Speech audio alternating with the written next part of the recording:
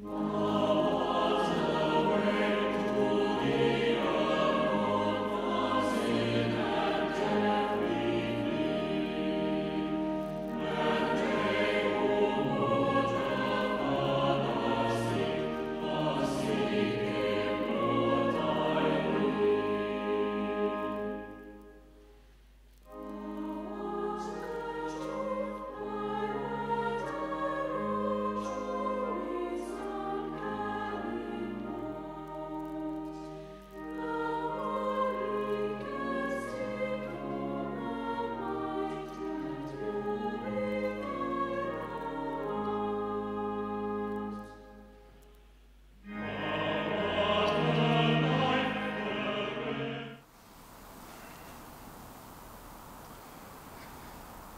Good morning and welcome to this short prayer service with the Gospel reading, an address, and some prayers for the second Sunday of Easter, commonly called Low Sunday.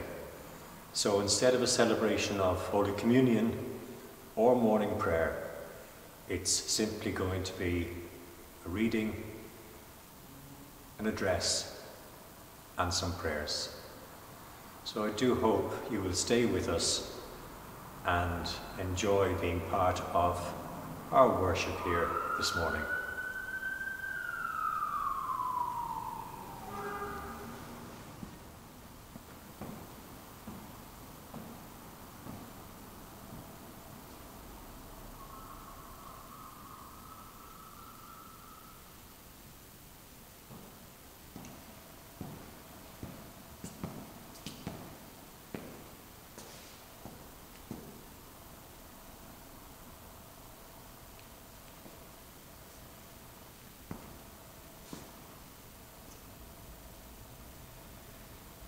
Reading from the Gospel according to St. John.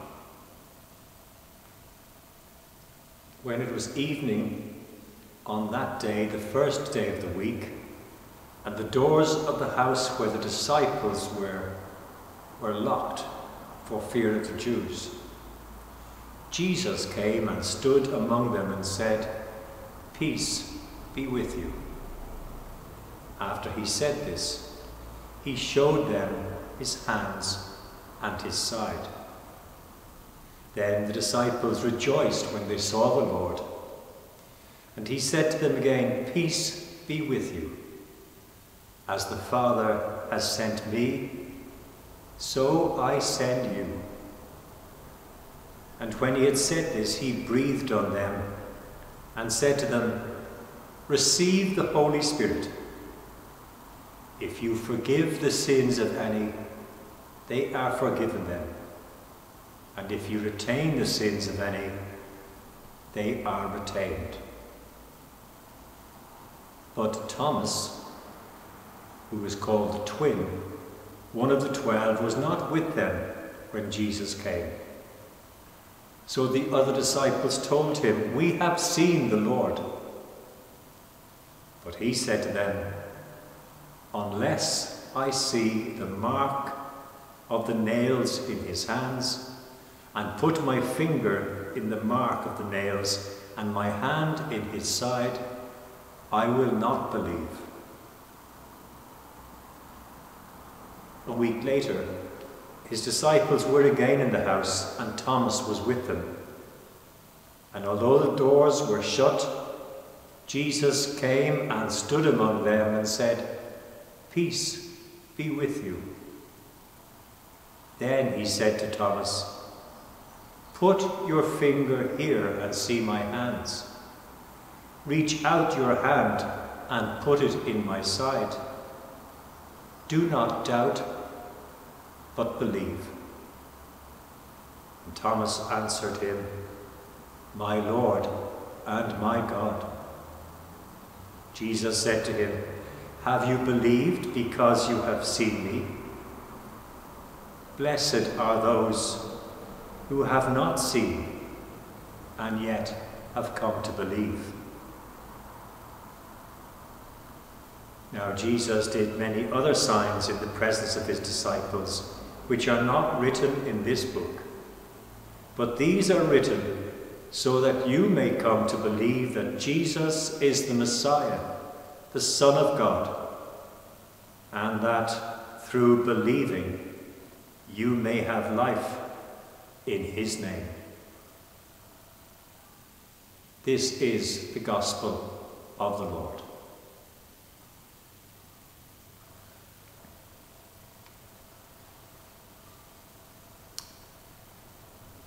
May I speak in the name of the living God, who is Father, Son, and Holy Spirit. Amen.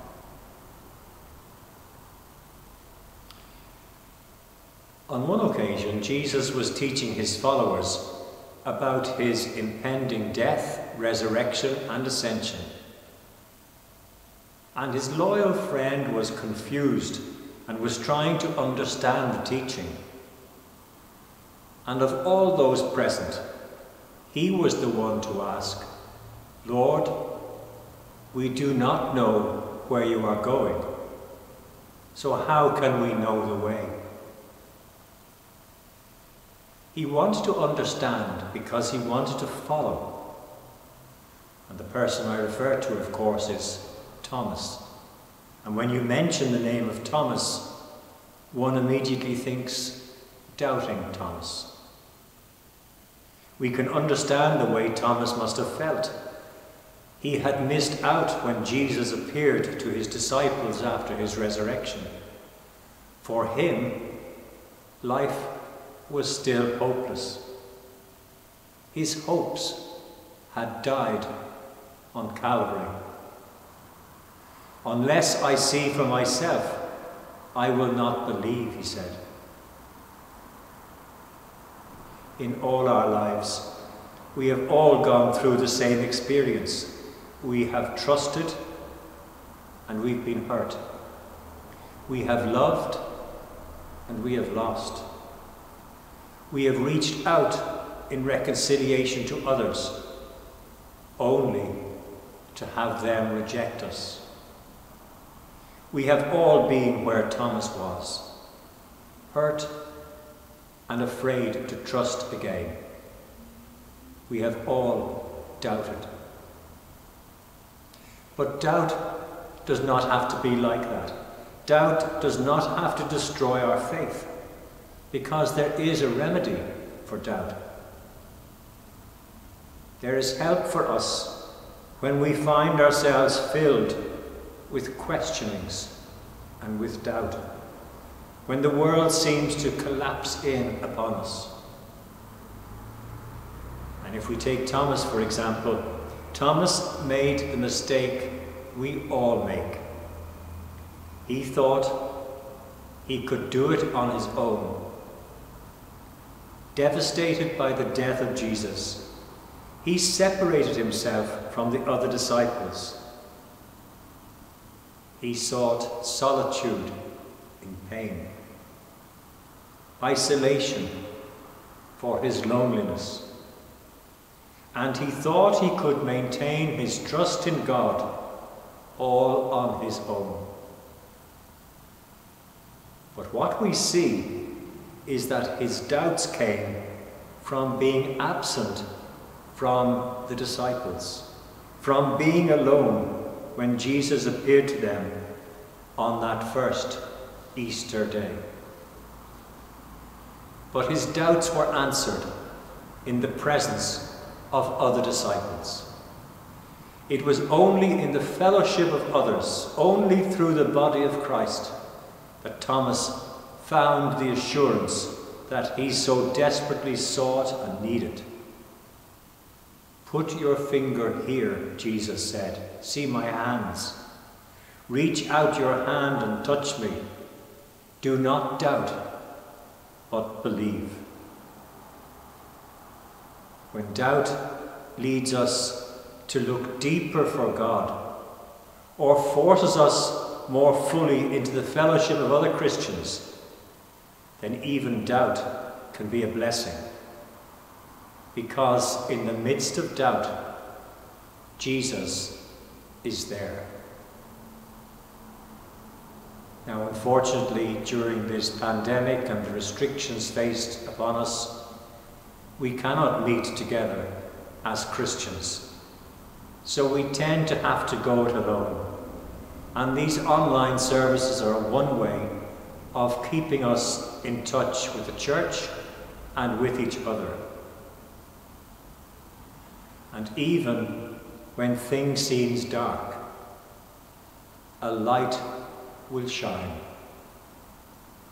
And it was Jesus who said, I am the light of the world.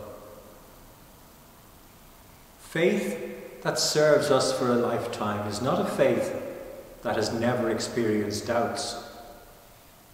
Because if that were the case, I certainly wouldn't be standing here this morning. Instead, it is a faith that constantly searches, faith that trusts even when the worst happens. And Jesus knew that was the kind of faith we needed. And that's why he said, Peace be with you. Do not doubt, but believe. Blessed are those who have not seen and yet believe. And that is his promise for us. Blessed are you and I, for in believing we have the offer of a better life and an eternal life in his presence. Today, in this short service of reading, address, and prayer, our Saviour, risen from the dead, gives us strength to face whatever lies ahead of us, doubts and all. And we do that in the knowledge that He is with us now and through all eternity. Amen.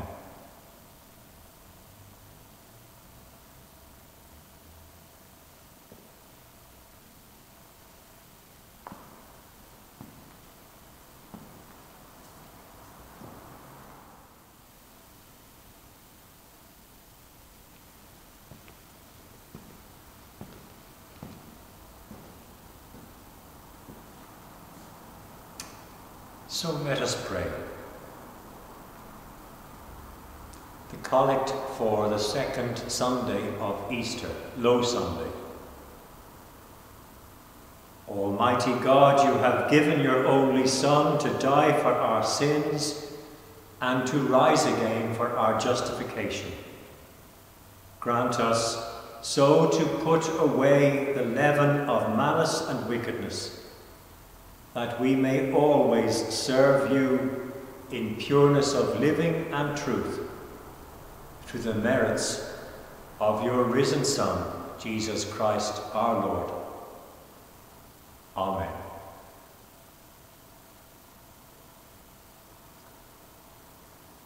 As we pray for the witness of the gospel throughout the world, we give thanks for the work of the church in this land and especially in this diocese. We pray for Michael, our bishop, and all your clergy and people, and all who bring others to the knowledge of Jesus Christ as Lord and Saviour. Lord, in your mercy, hear our prayer.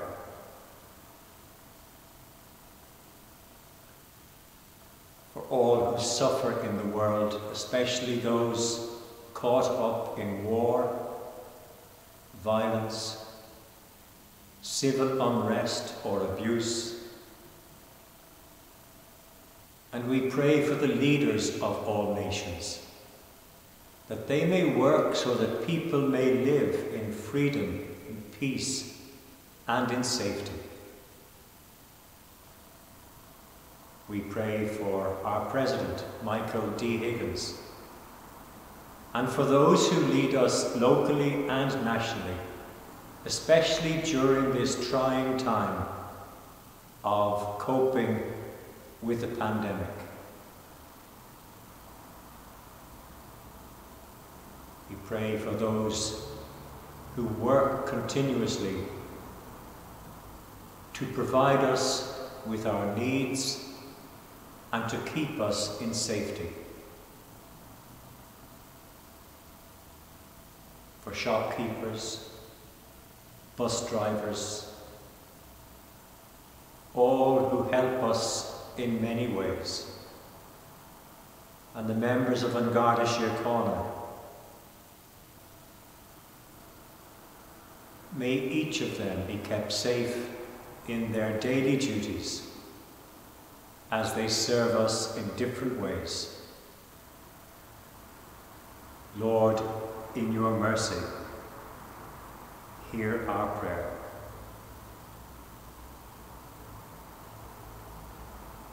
And so we pray for those who are sick, those known to us and those unknown, those who have asked us to pray for them, and those who have no one to pray for them.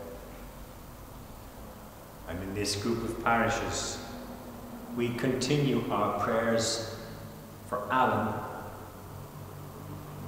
Thea, Trina, Mary, Anne, Keith, Helen, Logan, and Jerry. And in a moment of silence, let us remember before God all those for whom we ought to pray.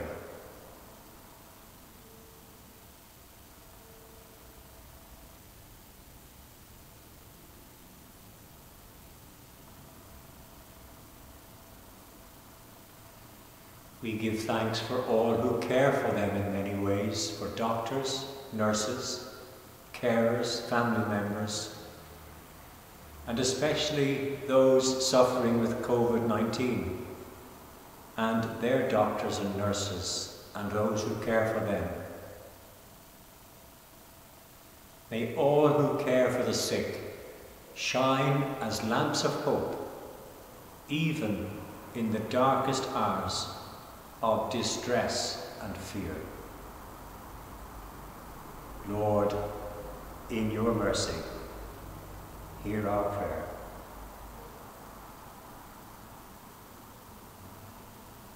As Christ was risen from the dead, he opened for each of us the gates of eternal life. And so today, we remember before God all those who once worshipped with us and are now at rest. We also remember at this time the life of Prince Philip, the Duke of Edinburgh, recently departed. And with thanksgiving, we remember family members, friends, and colleagues, especially Mervyn McCullough, priest, James Kenny, Harry Griffith, Luda Pierpoint Sheridan,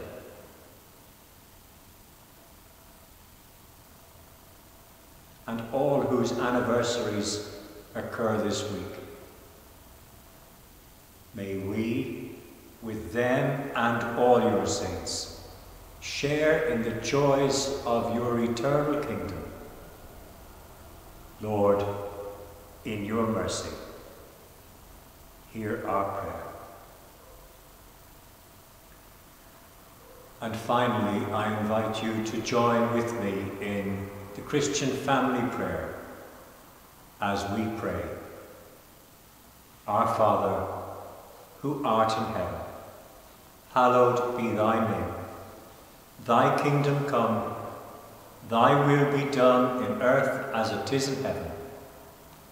Give us this day our daily bread, and forgive us our trespasses, as we forgive those who trespass against us. Lead us not into temptation, but deliver us from evil. For thine is the kingdom, the power, and the glory, for ever and ever. Amen.